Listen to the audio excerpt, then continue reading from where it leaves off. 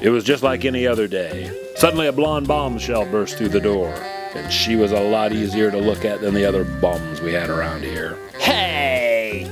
She had it, and I wanted it. Need some help getting to the bottom of that? Yes, Detective. That would be most. appreciated. I'll be in the back, rummaging through her case files.